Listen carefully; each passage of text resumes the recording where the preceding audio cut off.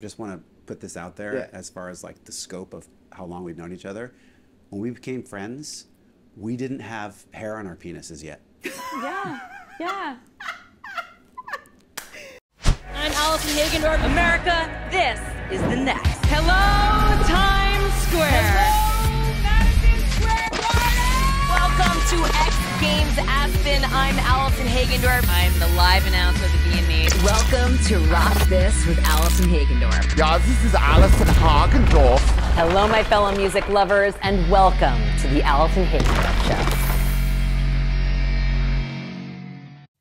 Hello, my fellow music lovers, and welcome to the Allison Hagendorf Show. This is where we celebrate the universal love of music and the rock and roll spirit that lives in each of us. I'm so glad you're here. We are coming to you from DWP Studios, and I want to give a shout out to our presenting sponsor, Cloudwater, and our friends at Karma Sauce. These are quality products I love. They are all part of my life and help make this show possible along with you. Your support means the world to me. Thank you.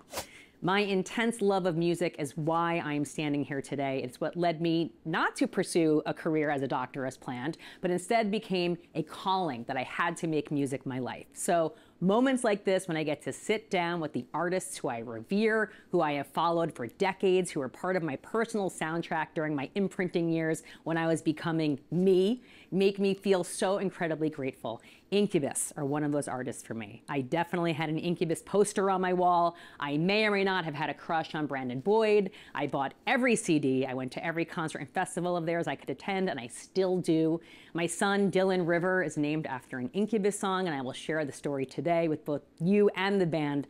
I truly cherish these opportunities, and I love that you are here with me for all of these experiences and full circle moments. When we come back, I'll be sitting down with Brandon, Mike, and Nicole of Incubus. I am truly looking forward to it. Stay tuned.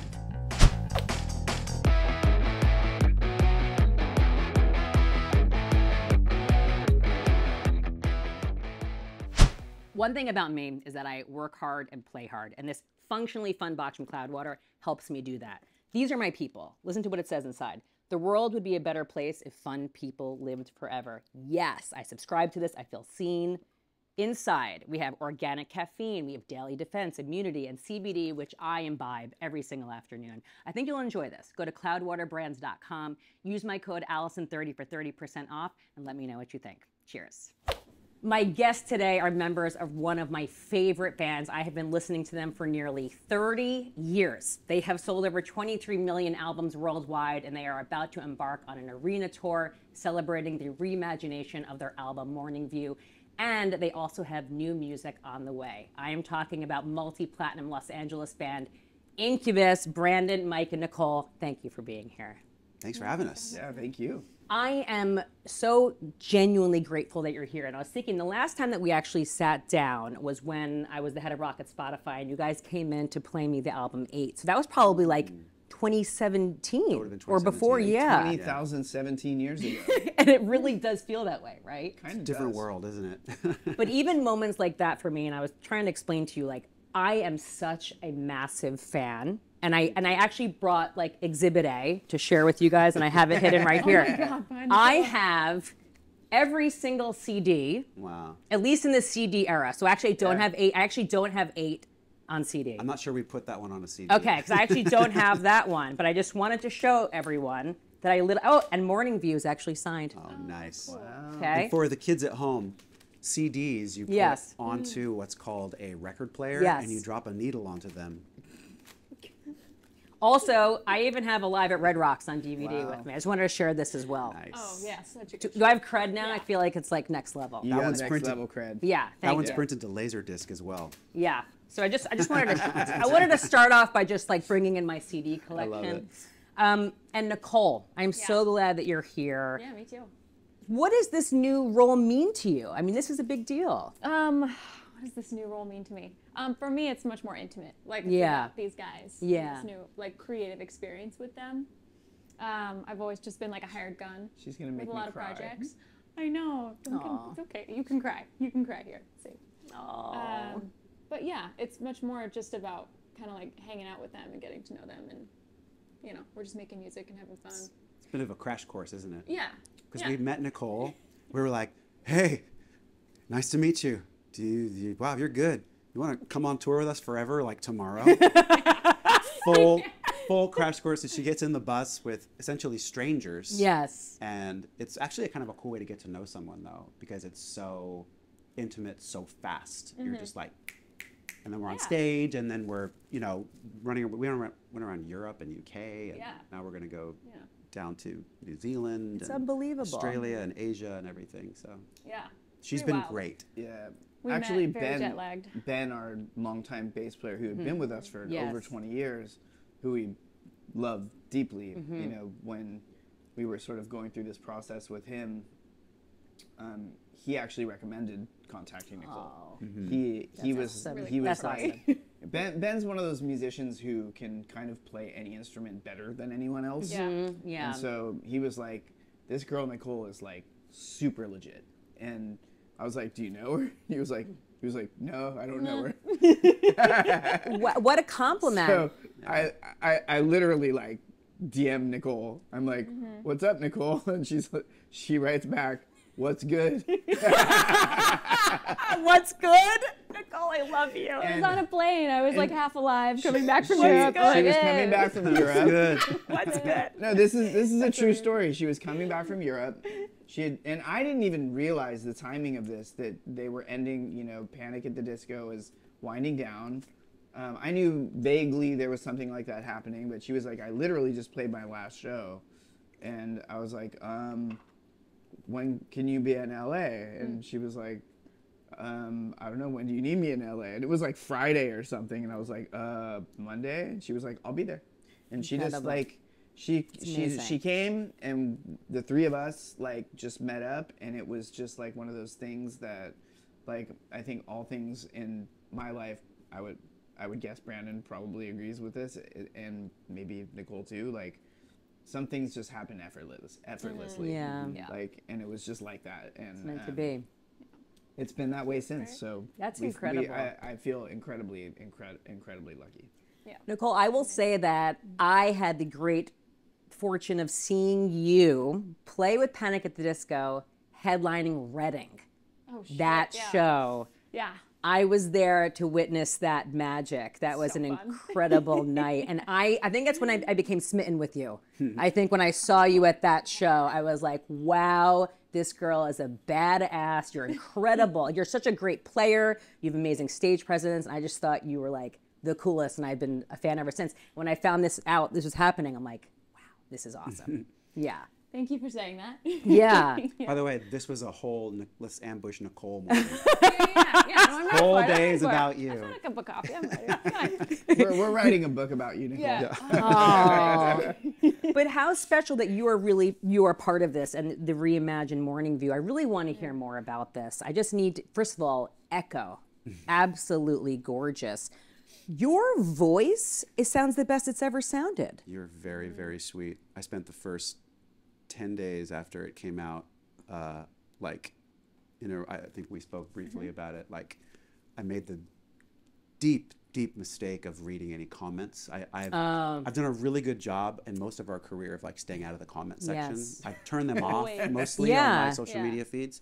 And I was excited about it coming out because we worked really hard on this reimagining of this record. And the first like 500 comments were just brutal. It was like, was like, like go kill yourself Brandon yeah. What's wrong with it's like people? great. I know, it's insane. the thing is, is what I, I so I really appreciate you saying Yeah. so. Thank you. Um, I think it sounds pretty good too. Um, I think all of us did a really good job. Um, we, it was it was a, it was a heroic undertaking for us to take something that's over 20 years old that has been uh, listened to, combed over, uh, loved, hated, but like a lot of people have listened to that record, right? Like Yeah. a lot of Uh, people yeah. over a long period of time. So it was it was a uh, it was a big it was a big confident brushstroke to be like, here we did it again. Yeah. You know what I mean? So it was kind of asking for it.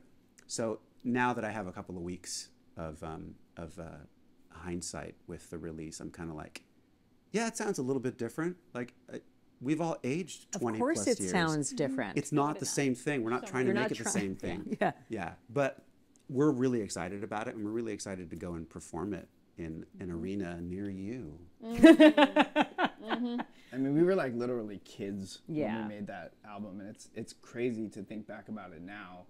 Um, the experience of making it and then re re-recording it, reimagining it was, as Brandon said, like super fun, like in ways that I wouldn't have anticipated. And we almost put it out as a uh, live performance.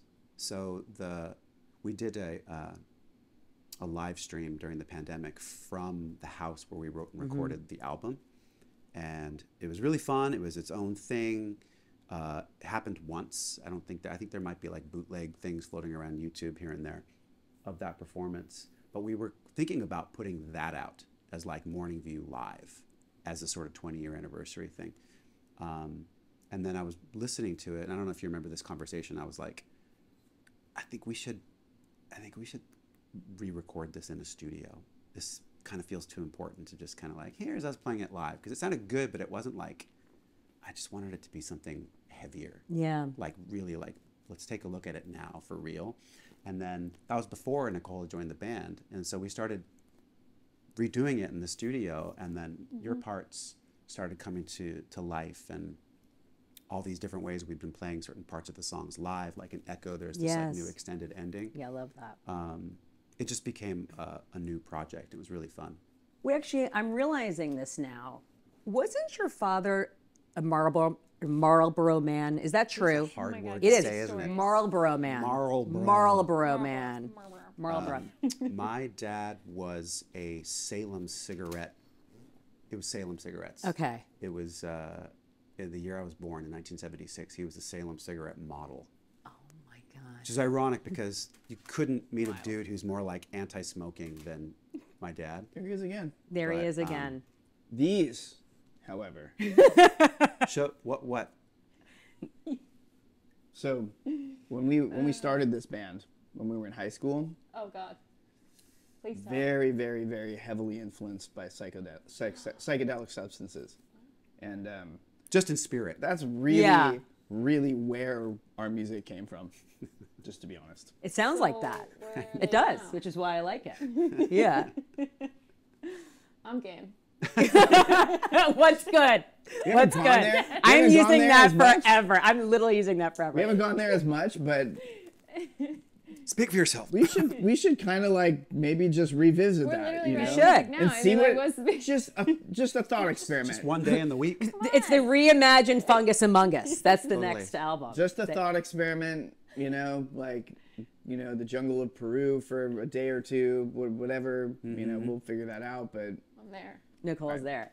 all right i'm glad you're here for it But I, I can't even imagine like the emotion that may have come up when when when reimagining Morning View. Um, what was that process like for you? Because that's just extremely emotional to revisit these songs.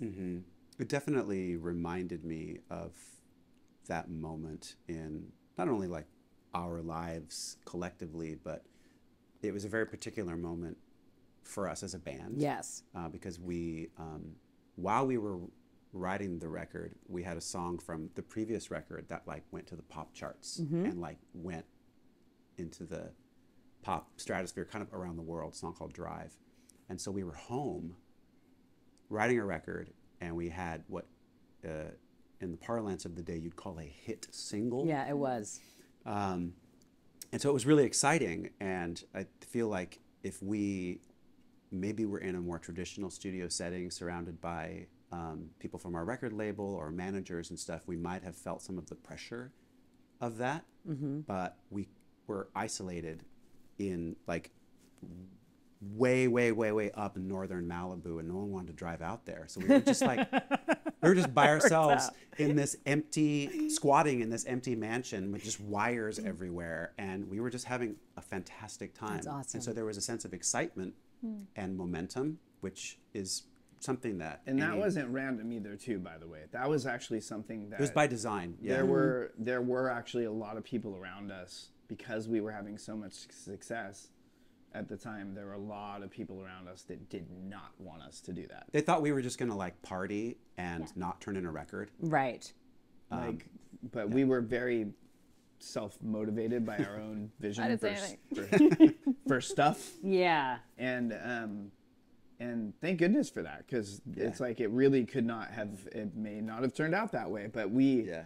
we didn't you know we just we just had this whole vision for how we wanted to do it and now that i'm older i don't, don't know how you feel about it like i kind of can't believe we did we actually did it like it's Yeah. like, like it's like the unlikeliness of saying no to like all of these like real experienced like music business people and then finally like a few key people being like okay all right you guys.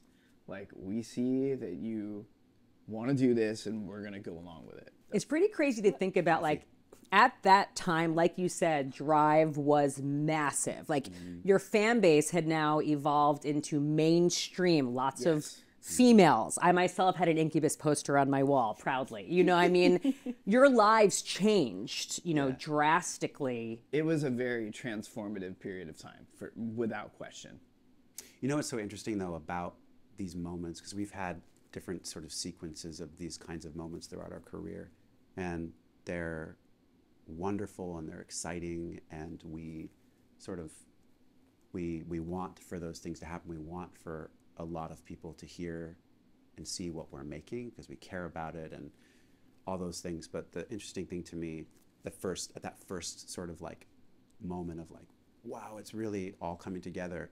I was in the midst of uh, a breakup, and I was properly like heartbroken, and I was excited about everything that was going on. But it was occurring to me while we were making this record, but it was like, wow, like it's just, it's it's still like all of the things that happen in life Yeah. still happen. You just add this extra thing on top of it, you know. And so, actually, in a lot of ways, I'm really thankful that we have uh, a vehicle to um, make sense of all of the things that happen in a life. yeah. In a way, it, it, it is a grounding mechanism for me. Yeah. In a way, it's a way that I sort of have been able to make sense of the normal things in my life. Um, falling in love, falling out of love, heartbreak, um, new, old, dry cleaning dry cleaning. Seriously, like you, you could you could call it like the sacred and the mundane. Like it's Yeah. all there. It doesn't matter who you are, what you do. All of those things, you still have to shit and wipe your ass. You know what I mean? Like, Absolutely, it, yeah. it doesn't matter. Well, Mikey doesn't, but Yeah. No. But when he's Michael, when he's Michael. Oh my God. In this experience, like we said, I think your voice sounds incredible. how are you staying in shape? You know, like how are you staying so conditioned? These are challenging vocal parts. I mean, you're holding notes out longer than the original, you know? How are you getting to this point? um, thank you. I'm curious too. Yeah. I still can't keep up with you on those. I try to Right. get I try I try to get Brandon to like because a lot of singers like you know we'll drop the keys down. Yeah. What we do what yeah. we do when we're like 18 Uh-huh. years old Well- is not the same as when we're like 47, 48 years old. But like most of the time, Brandon's like, nope.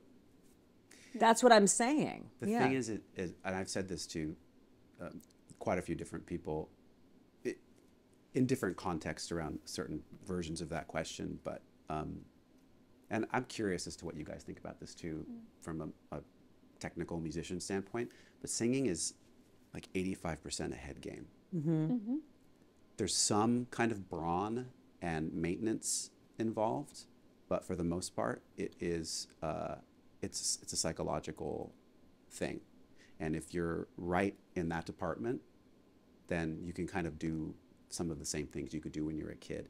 It's really easy to f- to fall away from it because our you know our psychologies Yeah. are are plastic and we're strange monkeys and stuff like that. But um, I found that the more right I am in that department, you know, and the more I work on that, Uh-huh. Yeah. the easier it is to get to those places. Sometimes it's fucking hard and Mm-hmm. I can't figure it out. yeah. well, there's like so there's so many impeding factors. Like we travel, you know, Yeah. so like We have a Jeremy job. it, it's Mm-hmm. it's Yeah. that part of it as we get older like it's definitely like way It's harder. grueling, it's yeah. gru- it's grueling so i think finding a balance between sometimes you know like us as players maybe not so much as singers but it does include singing is like you know your your body can only handle so much wear and tear. Mm-hmm. So Is there a psychological element involved in it though when you're 100%. playing? you- Yeah. yeah, for for Yeah. sure, for that without question. So if there's a way to to maybe, you know,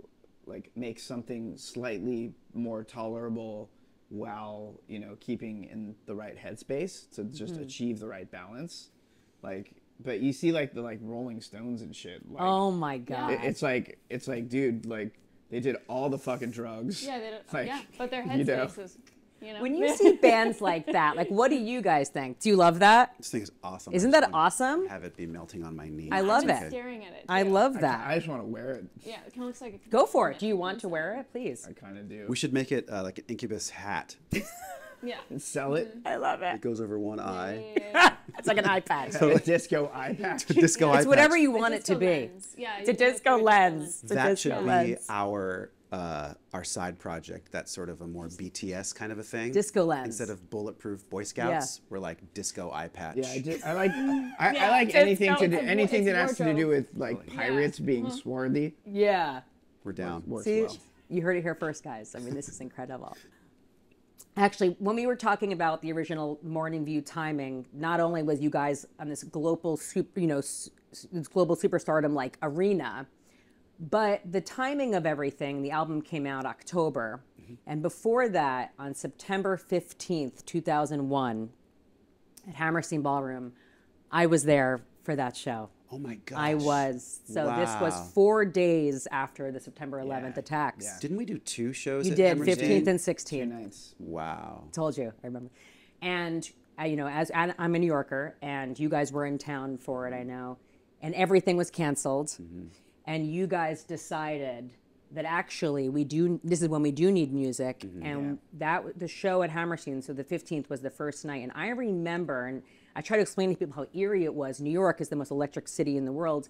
It was Quiet. It was Quiet. dead. It was mm-hmm. quiet. it was like tumbleweeds. Like mm-hmm. it was the eeriest, quiet, no one around. Yeah. And then going into that show, it felt you could feel. Mm-hmm. And I remember you with the like the drums and like that just it was such mm. a primal, beautiful human connection. Yeah. What did that feel like for you guys? It felt like that. You Yeah. just described it Yeah. really beautifully. Oh. Yeah, Okay. there were there were candles. Yeah. I remember it, it was like, and those shows had been sold out for a long time, and we were really excited to play the shows. Mm-hmm. And I was actually in LA when that happened. I had flown Okay. home for like a day, and I was gonna fly back. And then it became uncertain how I was gonna get back Oh, to play the show. So it became this whole ordeal, like getting me back from LA to the East Coast to play the shows, and um, it, yeah, it was pretty indescribable. It's like, indescribable. like I mean, I, I the the September the, the events of September 11th. Like I had never experienced anything like that in my life. None of us. No one. Any of us. No one. And they were were all like right September next to it. They Right. were they were blocks No, I was in away. They school. were I remember like They were staying at the, on TV. And my brother like um, pulled me out of bed. And was like, where were you guys? And Wow. Brandon. Yeah. Were you guys at the Tribeca Grand Hotel? We were. We were Mm-hmm. in. Uh, we were just on the border of like Soho. So The- like, we were close enough. My windows away. were open that morning, and when the planes hit, our hotel like Yeah. rattled like an earthquake. Yeah. So scary. car alarms were going off, and um, I have a, not to take away from the gravity of the situation, but I have a funny anecdote about my first reaction Mm-hmm. once the second plane hit, and I knew that it wasn't like the first one. I thought it was an accident, right? We all like a thought horrible, that. horrible accident. Second plane hit, and our hotel, and I was like, I was dating this this really cool girl from Canada, and I was like, get up, put your shoes on, like thinking we'd have to run, and I was like, brush your teeth. Oh my god. she was like, oh, what? And your I- but we brushed because like, and I, when the next Hygiene time, is important at all times. you know, the next time yeah. you're gonna get to brush your teeth, I thought we were gonna have to run towards Yeah. the river. Yeah. It was like, what is happening here? Mm-hmm. I was gonna It say, helps. you Traumatized her every time she goes to brush her teeth. She's No, like, I Brush mean, your teeth. Yeah, right. I don't know. Yeah. So wait, where where were you? You were in elementary was- school. You were I was like in 10. bed and I was a little Yeah. kid. Yeah. I, I Wow. woke up and saw it on the TV in the morning before school. One more quick Yeah. anecdote about Yeah, of course. that first morning. I went downstairs to see if I could talk to someone from the hotel, if they knew anything was going on. And I went down into the lobby, and there was a lobby bar, as there is in Yeah. hotels in New York. It was completely packed, Packed. by 9 a.m., and people were chugging mm-hmm. booze. Yeah. Like, this is it. They were, but it was like overflowing, like it was a full blown party, just Yeah. gul- gul- like glugging it down. Um, anyway, back to the shows. Yeah. The shows were, um, in, it- they were incredible memories, I think, for all of us too. Uh, they were actually kind of challenging in a way though, because I was having to like go back a ton of uh, emotion. Um, there were there are a couple of like lyrics in some of the songs we've been playing in our sets that had like these weird direct links to these feelings in that exact moment. So I'd be singing and be like, oh, you know, Yeah. not to Yeah. cry. Yeah. Yeah. You know, um, and then seeing everybody kind of emoting back with us. And at a certain point, I just kind of surrendered to it and Mm-hmm. Let it become an emotional experience. But I'm so glad that you were there. That's so cool. I have to tell you, it was one of the greatest experiences of my life. Well, that was a perfect example of how music is medicine, you know? It was just, wow, what an incredible experience. And, but all of your live shows are like that. I'm so excited about this tour coming up.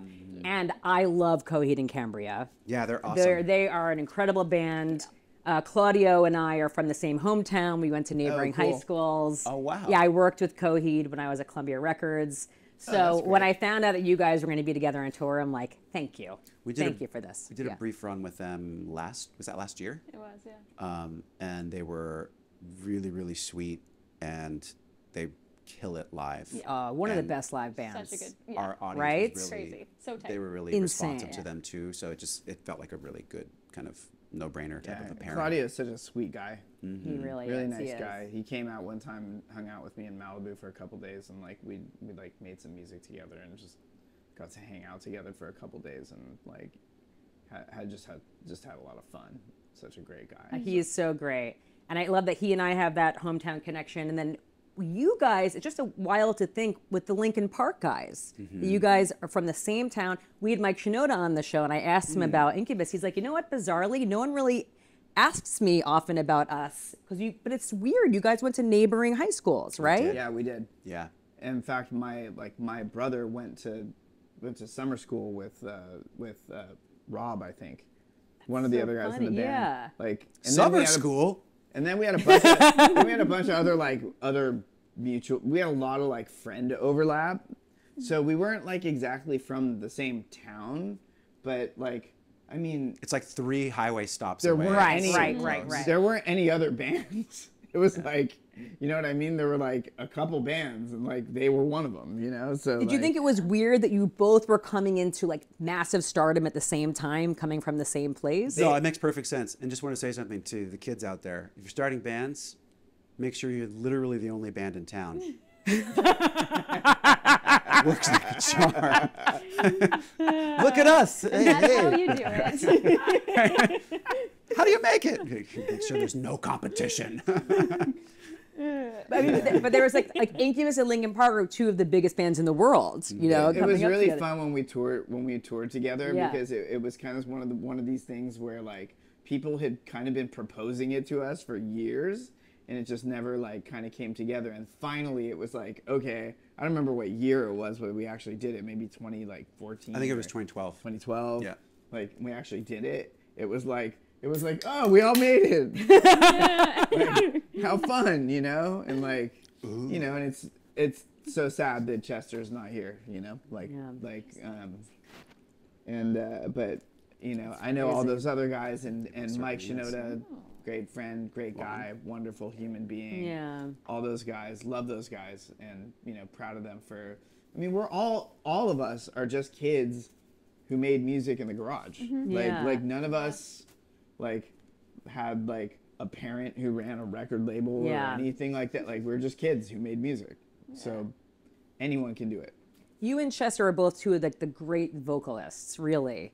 I mean, did you guys ever connect about that, or what? You know, what was your sort of relationship? We didn't really talk about singing much. Um, it was mostly just kind of like shooting the shit. He was an exceedingly sweet man. Yeah. I really, I think the the world is um, n- not as nice of a place without him in it. You Yeah. know, we miss him all the time. But I always kind of marveled at his ability to sing, like actually sing, sing. Yes. But then scream, Scream like that. Yeah. like you know Wild. there was like a demon somewhere in his body that he was exercising and and then sing again. I know. There was something like uh, another singer who I admired growing up, who was also uh, an acquaintance, is uh, Mike Patton from Yes. uh, Faith No Faith No More, More. Mr. Bungle, Fantomas, any number of different bands, uh, Dead Cross. Uh, that dude can like sing, like really, really sing, and then it sounds like he's like stabbing his throat with hot pokers,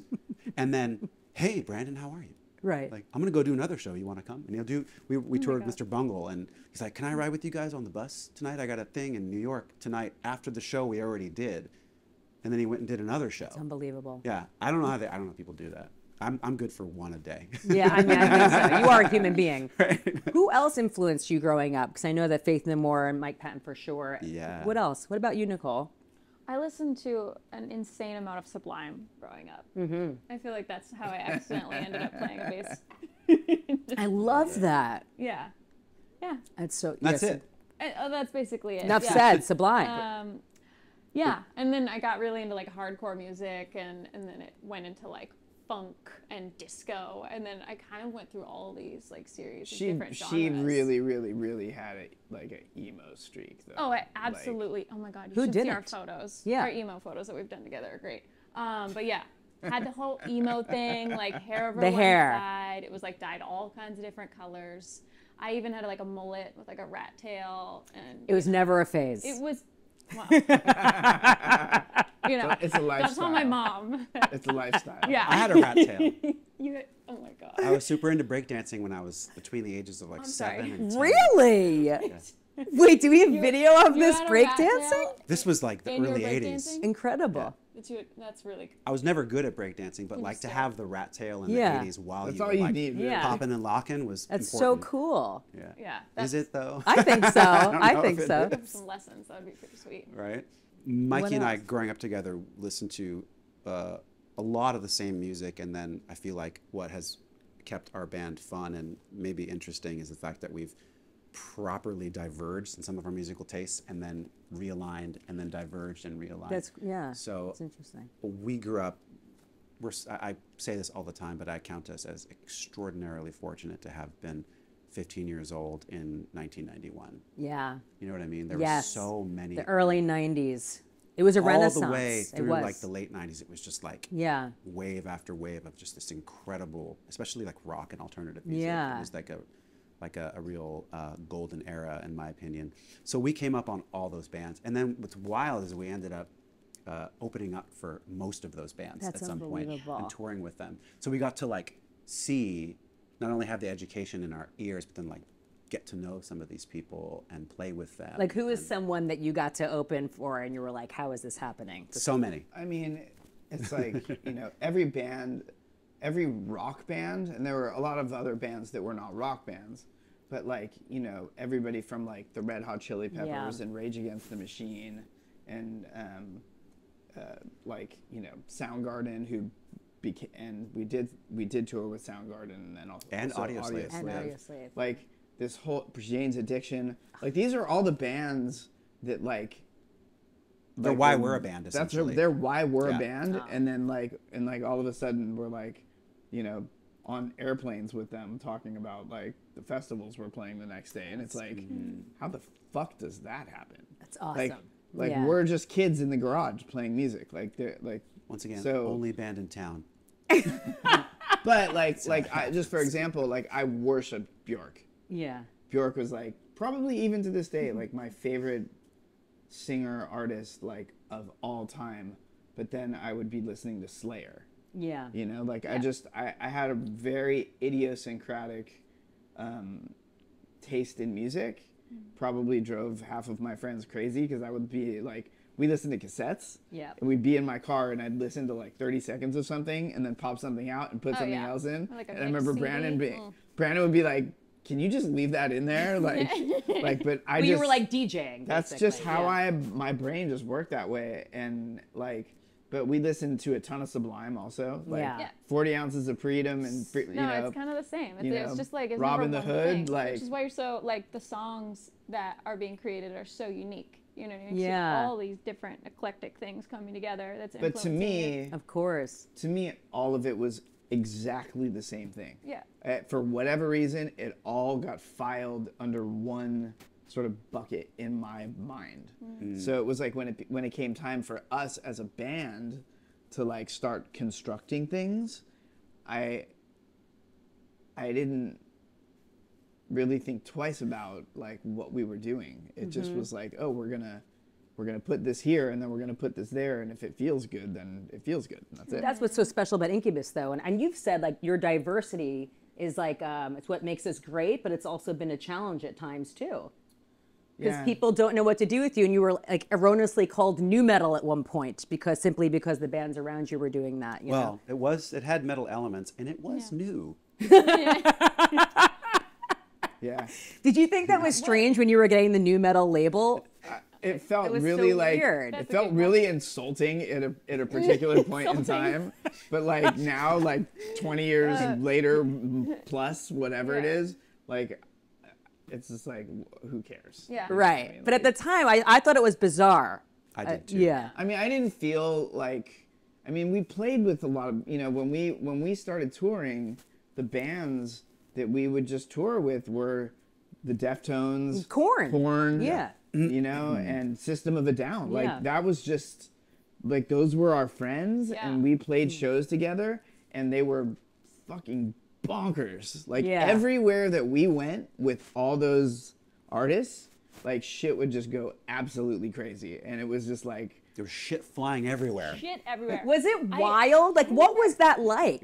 Don't you want to know? I want to know, like, what it was like at that time. it was it was honestly it was it was it was total insanity It was. It was insanity. it was total insanity like i mean we Like, give me an example. I'm trying to get like a picture, play- a snapshot. we would play in these clubs. Something clubs hitting you in the head. we'd play in these clubs and there'd be you know a thousand or two thousand people in the clubs uh. they'd be completely packed and the second we'd go on stage or system would go on stage or the deftones would go on stage uh, you know or Korn would go on stage like it would just be like the energy never went died down you know? Like mm. all the people that were there were really there for it. Mm. And so I was one of them. so and it felt like to me it felt like we were a huge band you know? Like in the scheme of things it's like we were like this like almost like playing these like little local venues but to me that was like that was huge. And it so it just felt like we were on a trajectory. And um you know and and and all those bands like were always really like we were all really cool with each other and we had a great time together and you know and and uh, we i think to this day even like we still all of us have a lot of appreciation for like just what we what we all experienced Yeah. because of how unique that actually is Like, what an era that was. Do you still keep in touch with any of those bands like Korn and Deftones? Yeah. Yeah, i do with i talk to them all all the of them. time That's awesome. That's really special. And then to think you can have a song, you know, opening for Korn and then having a song like Aqueous Transmission, which I want to talk about. That's a Bjork inspired song. I, I would mm-hmm. consider it more like a like a disney fantasia meets portishead type song but But we were definitely Mikey. There's a, a longer story to how that song uh, came to be, but I'm gonna give you the truncated Yeah, version. I want it. Yeah. Uh, Guitar Hero. This is the. This is someone being a guitar hero. Uh, guitar Hero Steve Vai. Uh, gave gifted Mike a pipa. a Chinese pipa. Yes. Yes. And he's like, Mikey was like, I don't know how to play this. He's like, which yeah. is a four-stringed chinese instrument that resembles a guitar in a Yeah. way Mm-hmm. So Mikey brings it back to the house at Morning View where we were living and making this record, and um, he and I just steve made me one promise what did he say? because i didn't want to take it from him oh, um, I, he was like, I want to give this to you. And I was like, I can't take this from you. And he was like, You can. You just have to make me one promise. And the promise is you have to write something cool with it. okay. And I was like, Okay. So he came Oh back, shit. the fear of God in his Yes. eyes. it's a lot of pressure. we and we we basically stayed up all night one night in the way we had our gear set up in this big beautiful living room of this house and we had our little early sort of computer technologies in that room, and we uh, he just started, you know, fooling around, and that riff sort of emerged, and then uh, I started singing stuff, and he was like, I remember you saying like, make it more weird, make it more Disney, more Bjork. You kept giving me these like very strange cues, and so I started to like make the vocal sound even more kind of like bendy and trilly and stuff, and then we we wrote it in like a couple of days, but most of it happened that one No, night. it was that one night. It Yeah. got it got sort of assembled over the course of a few days, but we wrote all the music that night. Mm-hmm. It all happened. In one, it all happened in one night. so fun. We I should do to- something else like that. And Yes. another weird part of the story is that um, many years later, I emailed Steve about something totally unrelated, and he was like, "Oh, and by the way, the song Aqueous Transmission is on repeat in my house." Oh. He didn't even know that didn't put it together. he That gave that me the was- instrument, the Oh. instrument that He was that instrumental. Inspired song, Yeah. that inspired this. He didn't even know. Yeah. So that that was pretty funny. That is special. Yeah. I also have to tell you the role that this song has played in my life. So, like Steve Vai, I listen to this song every day. it is actually a meditative song for me. And when I was pregnant with my second son, I was it was, it was like 2022. I was going through a personal stressful time. And when you're pregnant, you need to like really be calm. Mm-hmm. And in my backyard, I had this amazing photo of like th- this ocean wave. So I like sat down in front of the ocean wave and I put on aqueous transmission and I'm like, breathe, you know, and the, the Chinese pipa comes in, thank you, Mike. And I'm just listening, and then your vocal comes in and floating down a river, and I'm like really visualizing like this river and the water. And then you get to your vocal part, you're like float, you know, further down the river, for, like, over and over again. I was like, oh my God. And there was in that moment, I was like, you know what? Everything is going to be fine. And the river, river. And then I named my son Dylan River mm. after that moment. That's so cool. And it was so magical. And Dylan means of the sea. So it's like this water, aqueous. Yeah. And then the river What's was his literally your. It's 7 11. Oh wow. Hmm. Okay. Yeah. So you should know that it was like you saying river to me combined with the pipa Yeah. that gave me that moment. So thank you. That's it was amazing. really Thank it was really the pipas. it was. It was the pipa. Yeah. It's giving me this cool idea because some, I know something happens to me, and I'm so curious to, at your thoughts and your thoughts on this too. But with um, making music is, um, in my experience, when it's working the best, you're just playing. Yeah. You're just you're playing literally. It's not when we say we're playing music, but to me, when it's working the best, we're literally like adults playing. Yes. Um, so when I discover a new instrument or I find a new place in my voice that feels novel or something, it almost always inspires some novel musical idea. And I think that's what happened with you when you got the pipa in your hand. You're like, I don't know how to play this thing, but it's sort of like a guitar. You know, um, we should try that as a uh, as an art experiment. No, it's I like mean, I today cool. it's kazoos only. No, Right. Oh my God. Right. Okay. Yeah. Yeah. But I feel like that what you're des- what you're describing. I feel like what you're describing, Brandon, is Uh. like absolutely true. It's kind of like I experience this all the time with my kids Mm-hmm. because when my kids have like friends come over, maybe like I'll know their parents, but the kids haven't met yet. The kids all come over, and like the kids are meeting each other for the first time, and it's like, "Oh, you play?" They're like, "Yeah, I play. You play too?" I'm like, "Oh, come on!" And they just run off and do their job. Yeah. It's like they're just doing their job, you know. They, they, they, they know how to play, and it's like what Brandon's talking about, which is like, oh, let's let's just we're gonna play. Let's just play. yeah. So like that's really, and Hans Zimmer actually he talks about that all the time. Really? Like, that's something Yeah, that he talks makes about all the time. Like that as a as somebody who's you know an artist or musician, composer, whatever you want to call it. Like that's what we do. We play, Mm-hmm. and part a big part of the creative aspect of what we're doing is we're just playing. I think that Yeah. the bands that maybe survive are the ones that don't lose touch with that. Yeah. They- well, that's sense and that's play. also the biggest challenge I think. Well, because is- it becomes a career, and Right. you're like, I gotta pay my mortgage. You know, you better Oh write something that people like. And if, as long as you can stave that off, or at least put it into perspective, Mm-hmm. I feel like the longer you'll make music, and you'll make music that you actually want to hear. That's how Yeah. we wrote the Morning View record in the midst of all this commercial success with with Yeah. Make Make Yourself or with Drive. Yeah. You could imagine a scenario where all this commerce is happening and everybody that is making money, including ourselves, like want to continue that. They gave you some of that money? and it's like, um, uh, we'll talk about that later. What? Um, but it's one of those things though where everybody that's benefiting it from a business perspective wants to continue that, if not amplify it. Yeah. yeah. So it's like the the the motivation to want to do that can definitely interfere with that process. Yeah. And um, we, for whatever reason, had the instinct to like, you know, we didn't get to that position by doing that. We got to that position by being like, every one of you, fuck off. Like we're gonna do. What We love you. do. Yeah. Thanks. But let us do us. Yeah. Like we need to do Like us. we need to do us. Yeah.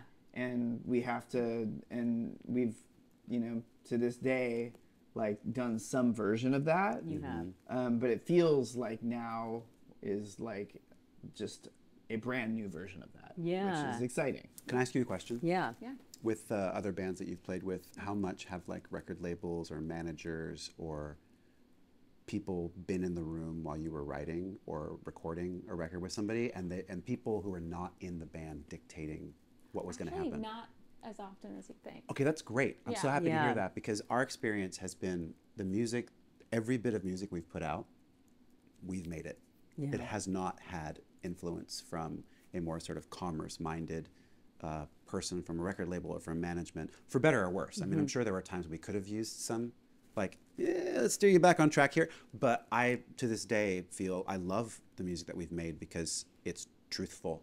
It is Yeah. actually authentically what where we were in those maybe of time. Yeah. maybe that's why the the like emphasis of or uh, um, attention of the music industry has now shifted to pop music so heavily Well, it was a- because, Because the because there are are- there are multi sort of Yeah. you know facets to the music industry. Mm-hmm. And you know like in back whatever year it was when i you know co-wrote wake me up mm-hmm. like i went through this whole unique experience of seeing this whole other side of the industry where it was like oh you wrote this pop song.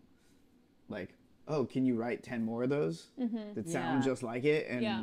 for this person or for that person for this person for that person. And um i didn't like it No. That's interesting. wasn't it Well, wasn't yeah. there were there were certain aspects of it that were really fun and I met a lot of really interesting people during that period of time in my life and I did do some things that were super fun you know like I you know I got to do a bunch of work with Tyler the creator which was awesome I worked with a group called the internet that was Yeah. so th- those were more like just creative That's decisions creative. Yeah. That's creative cool. decisions, but like there's this whole other sort of world of like songwriting where it's like, oh, how can we put this group of people together to create this thing that's going to generate the, It's a product. the most it's amount, music product. the most right. amount of money, you know, Mm-hmm. and and that in its own way is like its own Rubik's cube that you're trying to solve. It's its own skill set. it's kind of like if you gamify it, it can be fun Yeah. and interesting, but it just the, the dynamically is very different than being in a band. Of course.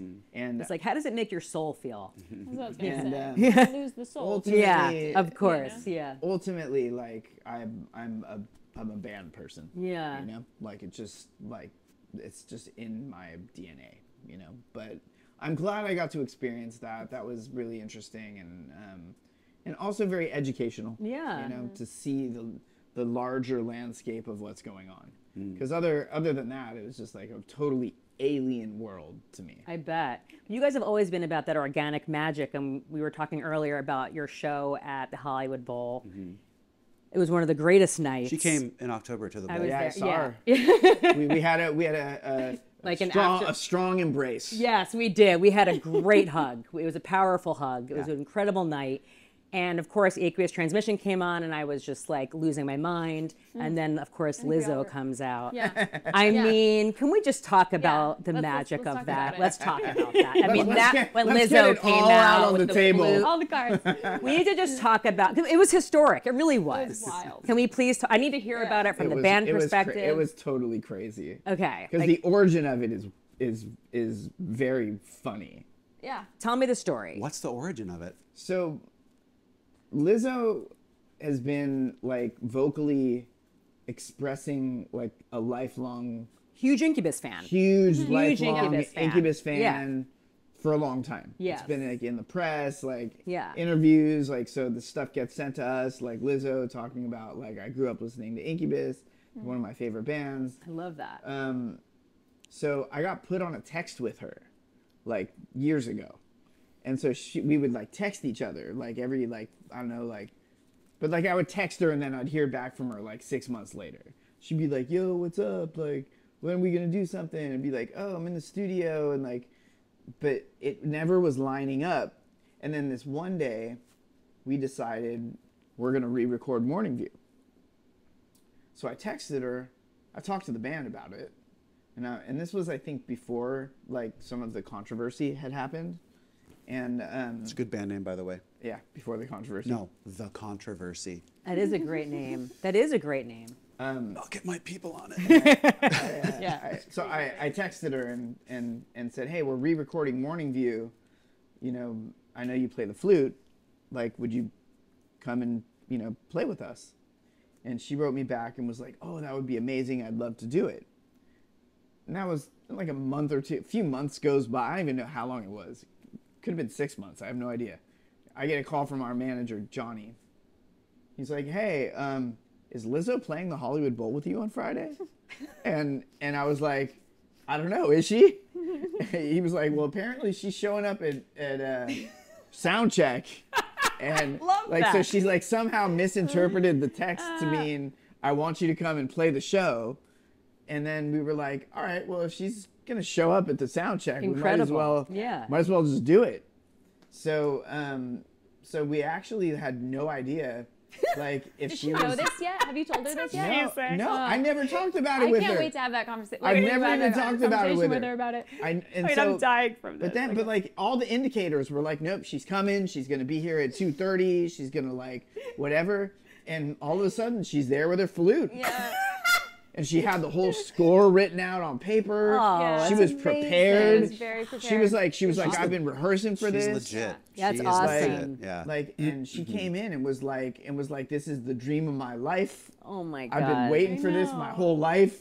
We were all just like, oh my god, like Better not oh, fuck this up. Okay. To ourselves, not to Yeah. her. Right, She no, was no, no, clearly no. prepared. and literally on on like the most chaotic day you could ever imagine. You Yeah. know, just hometown show and Yeah, Hollywood Bowl, it's a lot. dealing with family and friends and all that. And so um, that was that was the story. I mean, yeah, it was just this beautiful family experience. It felt like plus Lizzo. So like this family experience highlighted by this like superstar, incredible performer Yeah. who also sang. She has a too. beautiful voice. She yeah. added so much She's to legit. it. Do you guys want to hear the real story? Yeah, yeah, Yes. Yeah, yeah, yeah, yeah. Yes. Yeah, yeah. Let's hear. Brandon's POV. Yeah. This is a true story, and I haven't told you until just now. But um, Lizzo and I. You didn't been- tell it to me just now, but Well, no, tell I'm about me. to tell you. right Tell now. tell He's telling it right now. this moment. Lizzo and I have been FaceTiming for a few years, and I was like, "You gotta come and play with us." This is me talking to her on FaceTime. Okay. Uh huh. You gotta come and play with us on stage at the Hollywood Bowl. You're down. She's like, "I'm down." Like, we're not gonna tell Mikey. Is this true? She goes, "I love this." I'm like, show up at 2:30 and just don't tell blow Mikey. his mind. Yeah. And when you see him, yeah, call yeah. him Michael. Sneak attack. Sneak attack. And- Well, however it went down, it was perfect. Uh-huh. was like it really, awesome. really was. Yeah. It was so powerful. Wasn't that a magical? I will tell you, as a fan, it was epic. Like it, Right it was thank epic. you. Yeah, watching it back, um, like on people's iPhone videos. Yeah. I was like, oh, Yeah. damn It was it, it was a moment. Yeah. I just It really was. remember I remember being you know, I was sitting in this little chair like right in the front of the stage and she was right next to me. And when when you announced her and called her out and she came out, I just saw the look on people's faces like they were just like They're like, just they, they in like the they were like what the fuck is happening right now? Like this is the most it's just it was shocking to people. But then it made the most perfect sense. You Yeah, know, it she's, was like, like the most she was qualified. it was beautiful. Yeah. It was so beautiful. I it really the, was. we've been talking about this recently because Nicole sang um, a bunch of the what were original background vocals Mm. on the original recording of Morning View. They were all me, all the background vocals, but I was doing my best impression of a female voice to do the background vocals. Really good. And then so, thank you. she sings great as a female. Yeah. Who would have thought? I know. And so we kind of, I did it again, and then she sang as well, and we kind of fused them for this new recording, and it sounds really, really cool. So uh, it made perfect sense with Lizzo to come and do that high part because I was doing an impression of a female voice when I was like 25 or however old I was when we made the record, and she classically trained with the flute. Yeah. Um, and she wrote that song Tempo. So it's like you're qualified to be here. It was perfect. It was perfect. You know what I mean? You just need you need the trifecta. Yeah. It's like, We- did you write the song Tempo? Yeah. Can you sing like a beautiful I- girl? Yeah. Oh Can you play the flute? You're I actually was like, I actually was really, really, really, really, really committed to like us just going into the song tempo right after we You finished. were. Yeah. Yes. But everybody was kind of like, I'm like, well, we're thinking about a lot of probably other just- things. Well, you wanted to do it at It sound like- check. Yeah, it was like the day really of. wanted to do Let's it. play tempo. I we're was like, so into it. Do you recall though about a year and a half ago in the band room? I was like, we need to cover this song, and I played. I'd kill play Tempo off his turntable. Really? Yeah. We need to cover that song. You need to cover it. It's now you need to. Happening now. Now you such need a to. good song. Are yeah. you gonna sing the lyrics though? Yeah. oh yeah. yeah. I'm, that's dude. Incubus my other needs band's to do called tempo. The I mean, Nicole, this I'm needs to happen, Yeah, yeah. right? Yeah. Actually, Nicole will sing it, and I'll just. I is might. I might get really into it. Yeah. Okay. Yeah. Will it have the pipa on it? We need to know. Uh, oh my god, I, I I would make any any necessary contributions to make it happen. and then we can use our, our dance moves that we learned on the last or tour. Yeah. or Yeah. I'll sing it. I don't I don't give a Okay. fuck. Yeah, we'll trade verses. It'd be Yeah. great. Let me ask you guys, since you've now known each other for decades, decades, and have been in a band together for Including Nicole. right, Decades. right, for what 33 years doing music. I mean, how has your relationship evolved? It's kind of the same for the good Is it the most part. same? No, I mean I, I think like you know, um, I mean we've all seen each other go through different periods of time and transitions, and um, it's I think that's just like a beautiful thing to like to be able to like be with somebody throughout you know all these like major changes. You know, like I'm a dad. I have all the, I have four kids. You know, You have about to say I have all the kids. I have don't all the kids. all the kids. Yeah. You know, and it's like it, it's like that also has its own dynamic Mm-hmm. to like writing music. It, it makes it a lot harder Yeah, actually, yeah. to like find time to like really devote and really focus, and really like um It's amazing to think about it in that perspective. I'm sorry to interrupt you, but I just want to put this out there Yeah. as far as like the scope of how long we've known each other.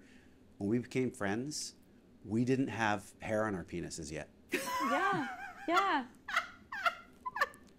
We grew That was hair. exactly what I was thinking when We I grew said that you've known And each other a that long you knew time. that about each other. So close. Uh, right, you knew know, that. You could unspoken. confirm the lack we of to- hair. we used to surf together, and you Yeah. see, you know, you see stuff. Right, you see Yeah, stuff. Cold penises. We so we grew up. Our, our original bond was not only I love it. yeah, Love that. She's beginning a crash course love in like uh, So good. poor boy humor. Uh, A crash course? It's been my We're both entire used to being around guys our whole life. lives. Yeah. oh yeah, what am I thinking? Sorry. Yeah. And they, they apologize all the time. I'm sorry, that was that was too much. And I'm like, It's a certain breed of female though. Like I feel like we're always around guys, and it's just like that's just normal. Yeah. Yeah. Uh-huh. Like there's no difference. We're still like you've pee and poop jokes, just and Yeah. us. we're like you've you you kind of gotten a, a real taste of of who we are. I think. Mm-hmm. But I think we're there's parts of us that are still like So reserved. we're still. I Just, know.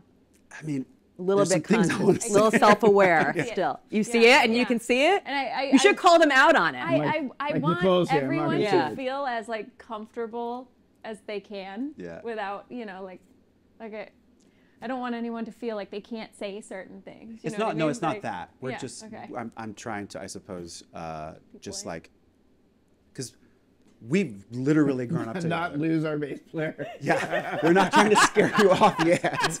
Not I have full confidence scare that Nicole our can take player. it. I have full confidence Yeah. in you. Like yeah, our she's got conversation this. we're having yesterday. Yes, about I our know. friend That's, we that's grew what up I was with. going to reference. Wait, what was- like, what happened yesterday? we were just talking about somebody that we grew up with whose name we won't mention. He'll know. He'll know who he Oh. God! But like, You're really gonna go there? like All you know, little boys, you grow up, and when you figure out that this weird little therm arm actually like is functional. Yeah. Like you just don't leave it alone for like the, kind of the rest of your life. Yeah. And we started getting this conversation about like the onset of the discovery of of uh, self pleasure, we shall call it. And I kept like we kept saying these things and we were laughing and all of us were like, The like side eye at me. like, I'm like, is this too is this too much yet? And she's like, no. As if women can't relate to this. I know. I mean, I, I, I, I suppose. what is masturbation? yeah. What are you guys talking about? Yeah. Throw it out there. I think it's like a protective. I, I don't know because we just we've only known each other like a like Yeah. less than a year. Oh, no, right? and it's totally understandable. yeah. But you I should get call them out on it whenever you can sense they're being like, mm-hmm. can, you know, like holding, Holding back. back. Yeah. Yes. You're Tell like, me what guys. you're I don't know if that would make Guys. it better. Just lock up. totally. All right, let's quickly do deep cuts, okay? change We're gonna make it quick. Okay, ready? Name a song, album, or artist that changed your life. Um, I think for me, it's very much about like an instrument, like bass. Yeah. Like, uh, Michelle Indeggio you know, Amazing, yeah. um, bass players like that. Kind of like when I was coming up, I didn't really realize that there was different genders in what I was doing until um, people started to really point it out to me. Like, oh, what's it like being a woman playing this instrument? Right. I'm like, I I don't know. Is it different? right. Um, and then seeing women like that, like powerhouse, just fucking having their own projects and like that kind of stuff Oh, that's impacted awesome. me. That's That's yeah. amazing. Yeah. That's really cool.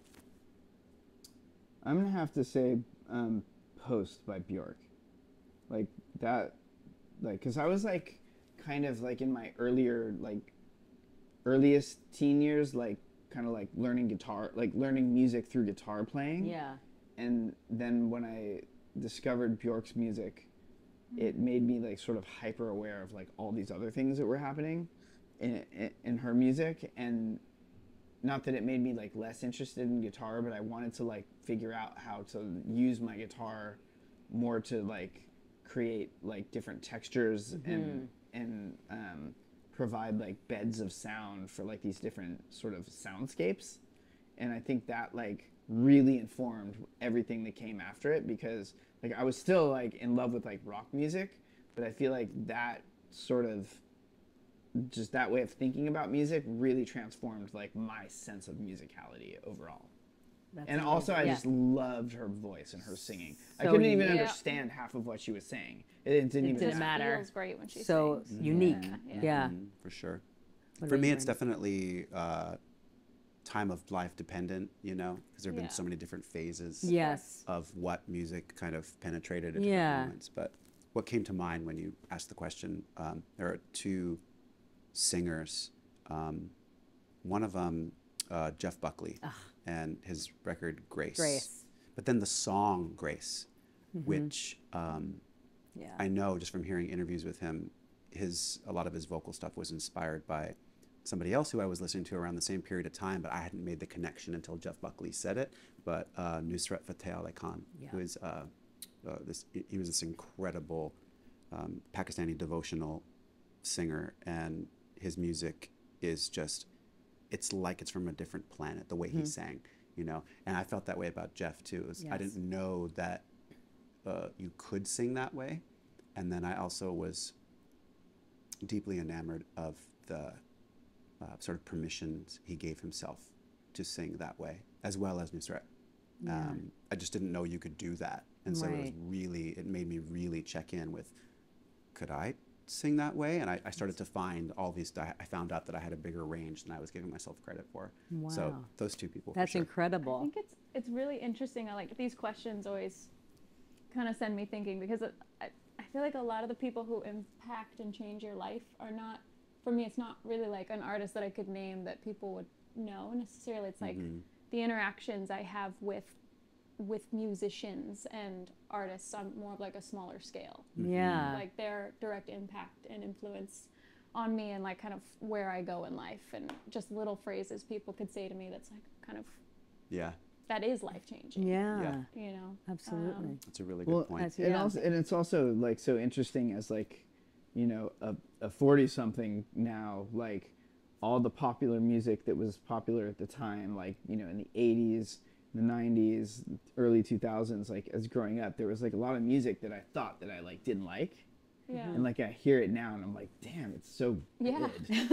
you know, like I'm Yeah. like I'm like Yeah. I can't fucking believe how good that Lionel Richie song is. Right. Damn. Yeah. You yeah, liked that when we were kids. Come Like- on, we were like, obsessed with you that know shit. I mean? Always were like kids. Lionel No, but like, of no, course. No, but like just like You didn't realize how cool it was, maybe. I didn't realize Yeah. like I didn't realize how well it, like Yeah. something was Yeah. produced or Right, like how, yeah. Yeah, it's like, like not I how, would like, different a different it's, like, you. appreciation for like things that were just around that we took for granted Yeah. because they were just around. Yeah. Right. You know, like It was on the radio all the time. yeah, So you like, take it for granted. Yeah. you know like careless whispers, man. Oh, that's Mm. unbelievable. Oh, yeah. damn. Incredible. You know? Wham, George Michael. I mean, so, so good. Yep.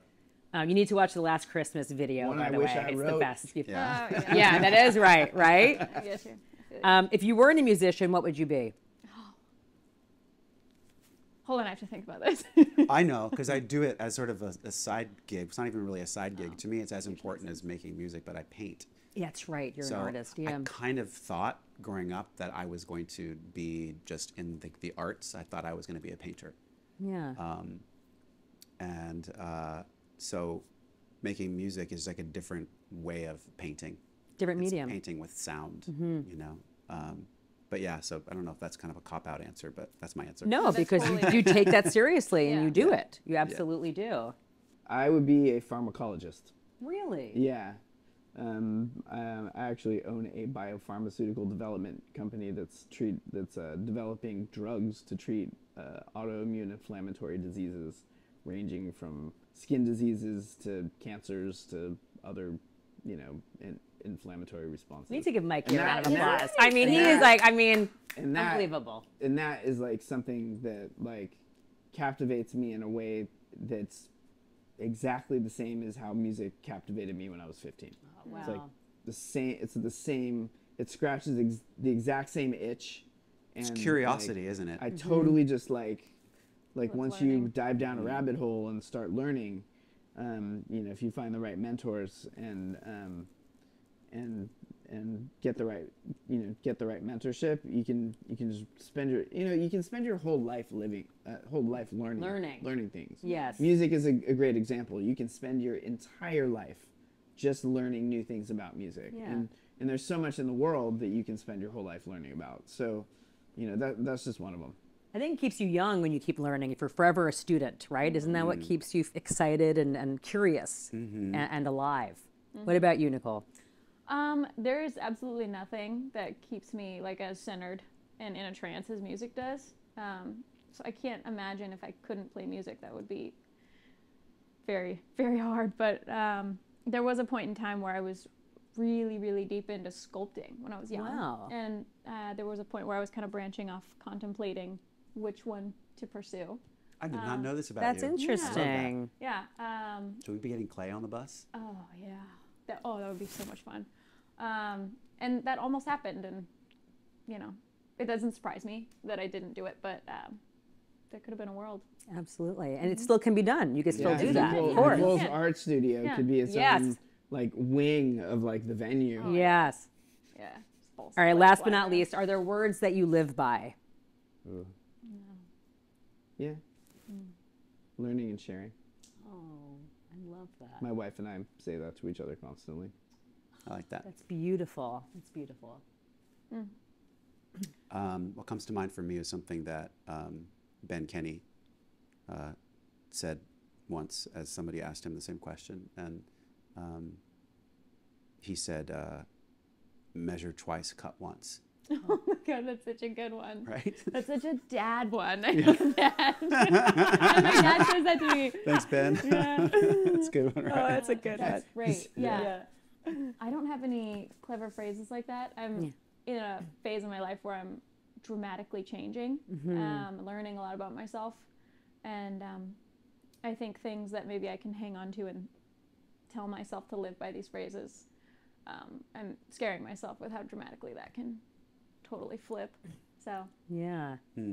so no, Learn and not right share. now. Yeah. Learn Yeah. and share and I, I like Sharing. learning sharing. measure Yeah. twice and cut Yeah, once. we, Yeah. we gave it to you. It's great. Yeah. Guys, thank you so, so much. And I'm so excited about this new chapter. And I can't wait to come to as many shows as possible as I do.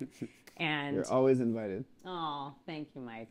Thank you. Thank you. Thank Yeah, you. thanks for having us. Thanks for having us. Thanks, Dave Grohl. Oh my god. They'll be right back. I know. I need an incubus one.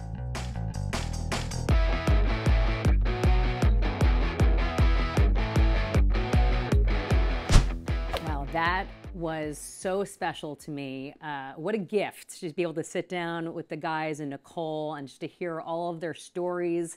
And I will tell you, they are working on new music, and I am just as excited as you are.